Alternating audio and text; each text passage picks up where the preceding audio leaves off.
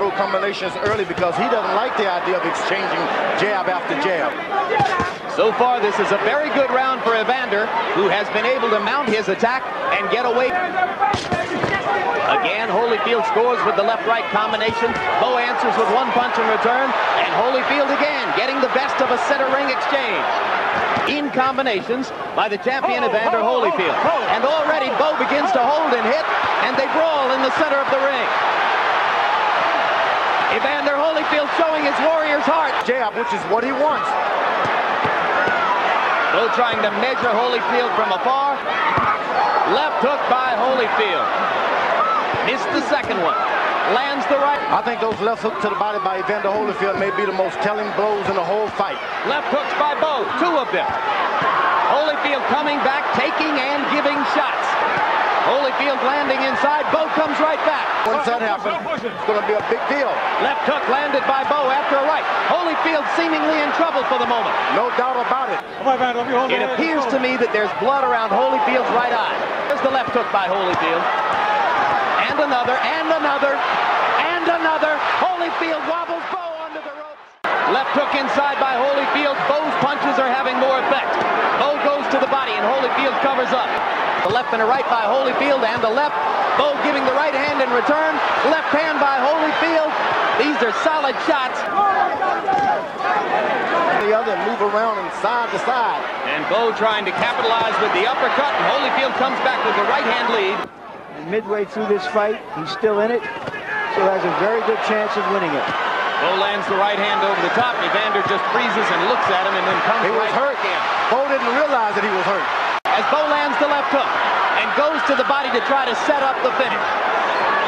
Holyfield peering through the swelling right eye. About. Good left hook. Holyfield with another left hook.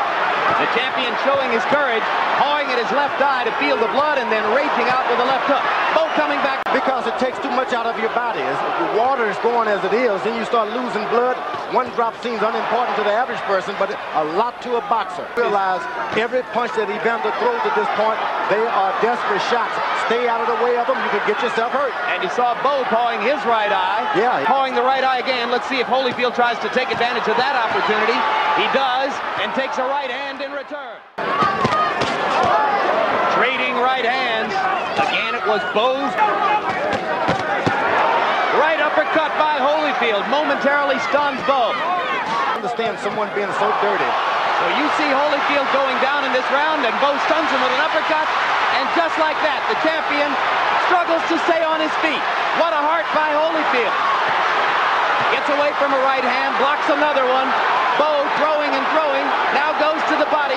Holyfield somehow standing up, but staying too Referee, close to Bowe. referee. Joe Cortez watching. Champion gets the benefit of the doubt. That was a right uppercut. Look at Holyfield. What a warrior. Reversing the tide of the battle. The champion now has Bowe wobbly. And he lands the right hand.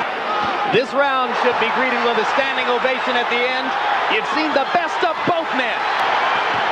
A right hand by Holyfield. And another.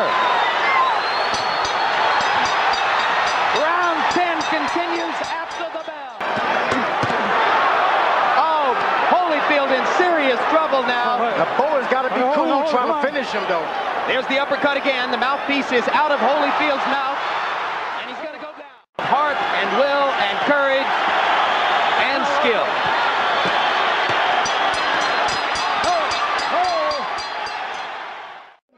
and